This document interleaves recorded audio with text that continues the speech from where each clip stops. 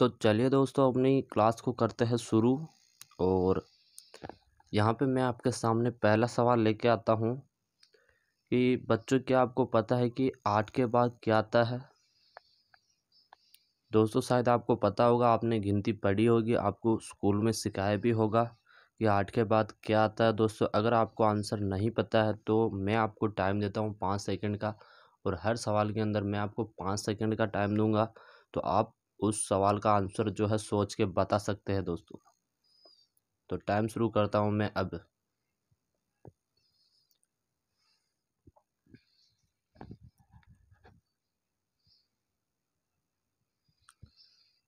दोस्तों, आपको शायद इस सवाल का जवाब मिल गया होगा और अगर मिल गया है तो आप मेरे कमेंट में ज़रूर इसका आंसर दे दें और नहीं मिला है तो मैं आपको आंसर दिखा देता हूँ दोस्तों, यहाँ पे।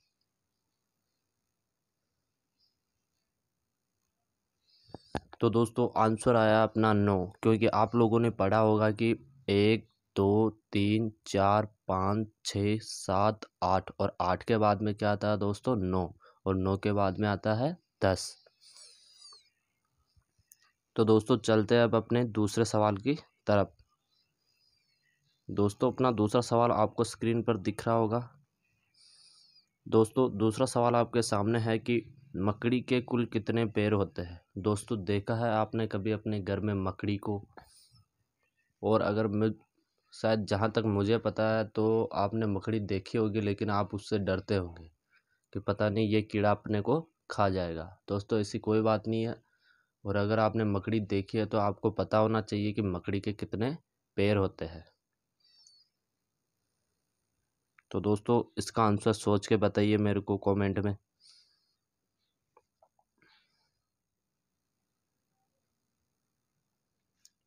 तो दोस्तों, आपको इस सवाल का जवाब मिला या नहीं मिला, लेकिन मेरा तो एक ही पर्पज़ है कि आपको इस सवाल, इन सवालों से रूबरू करवाना और आपको ये सवालों के जवाब दिखाना। तो दोस्तों, अपने दूसरे सवाल का जो है जवाब यहाँ पे छुपा हुआ है और मैं इस जवाब को आपको दिखा देता हूँ। तो दोस्तों, जो मकड़ी होती है, उसके जो पैर होते हैं, वो कितने होते हैं दोस्तों? तो वो पैर होते हैं आठ दोस्तों मकड़ी के आठ पैर होते हैं। चलिए दोस्तों, बढ़ते हैं अपने तीसरे सवाल की तरफ़। तो क्या बच्चों, आपको पता है कि अपने देश का संसद भवन कहाँ पर है? दोस्तों, जो अपने देश का संसद भवन है, वो कहाँ पर है? तो आपका टाइम शुरू होता है अब।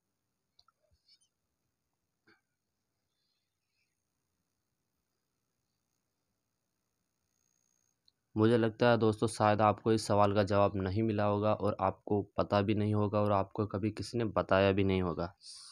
दोस्तों, इस सवाल का जवाब यहाँ पर छुपा हुआ और मैं आपको इस सवाल का जवाब बता देता हूँ। दोस्तों, इस सवाल का जवाब है नई दिल्ली। दोस्तों, आपके देश का सांसद भवन कहाँ पर है दोस्तों? नई दिल्ली के अंदर। चलिए दोस्तों, अगले सवाल की तरफ़ बढ़ते हैं। दोस्तों, अपना जो चौथा सवाल है वो हमें क्या कहता है? देखो जो अपना चौथा सवाल है, वो हमें कहता है कि हम गांधी जयंती कब मनाते हैं? दोस्तों, अपने जो बापू है, जिन्होंने अपने देश को आज़ाद करवाया है, हम उनके बारे में बात करें दोस्तों। तो मैंने आपको पूछा कि हम गांधी जयंती कब मनाते हैं दोस्तों?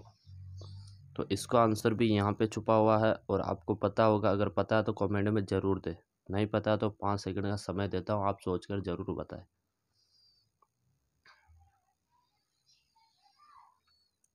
चलिए दोस्तों, मैं आपको इस सवाल का जवाब बता देता हूँ। दोस्तों, हर साल दो अक्टूबर को हम गांधी जी के जयंती मनाते हैं दोस्तों, उनके जन्मदिन के उपलक्ष्य में। चलिए दोस्तों पाँचवें सवाल की तरफ़ बढ़ते हैं तो गणतंत्र दिवस कब मनाया जाता है दोस्तों? दोस्तों, जो अपना पाँचवा सवाल है, वो है, गणतंत्र दिवस कब मनाया जाता है? दोस्तों इसका सवाल तो शायद आपको पता ही होगा, आप कभी कभी दाने खाने गए होंगे, अपने स्कूल में परेड चलती है, डांस होता है, कई सारी प्रतियोगिताएँ होती है।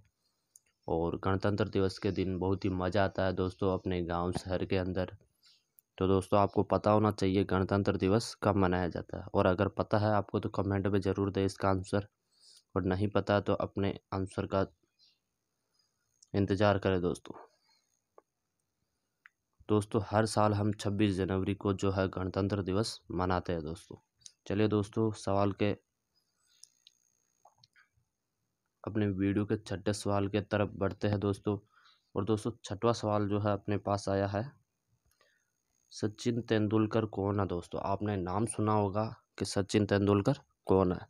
दोस्तों, आपको जवाब पता होना चाहिए इस सवाल का तो। अगर नहीं पता है तो सोचिए ज़रूर। चलिए मैं आपको इस सवाल का आंसर बता देता हूँ। दोस्तों, सचिन तेंदुलकर कौन है? आपको पता होगा या नहीं होगा, लेकिन मेरा काम है आपको बताना। तो दोस्तों, सचिन तेंदुलकर जो है अपने भारत के एकमात्र ऐसे क्रिकेटर है जिनको भारत रत्न मिला हुआ है, दोस्तों। चलिए दोस्तों, अपने वीडियो के सातवें सवाल की तरफ़ बढ़ते हैं। और अपना सातवां सवाल है, दोस्तों, एक साल में कितने महीने होते हैं?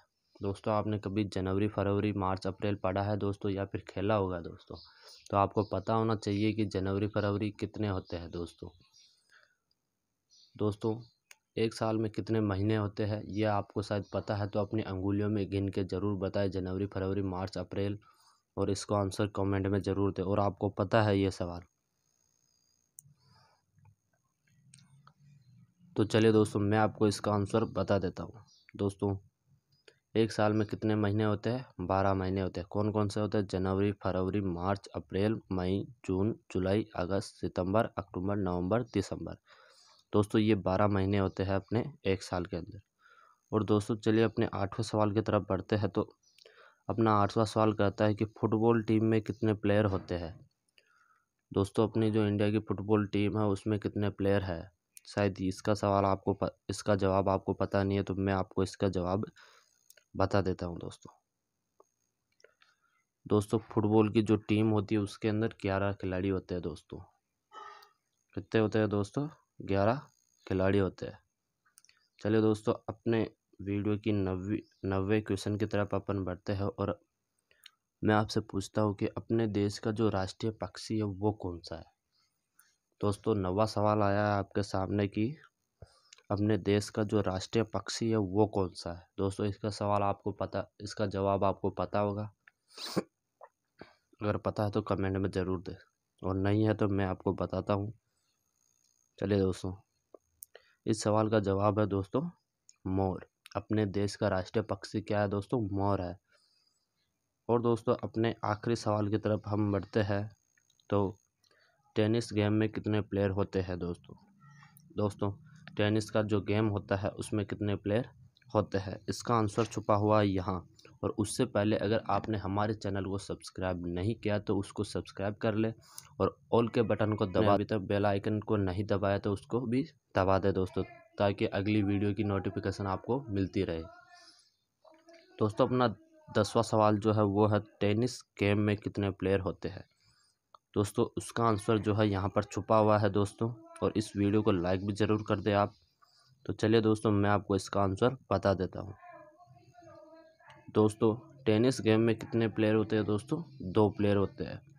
टेनिस का जो गेम होता है, उसके अंदर दो प्लेयर होते हैं दोस्तों।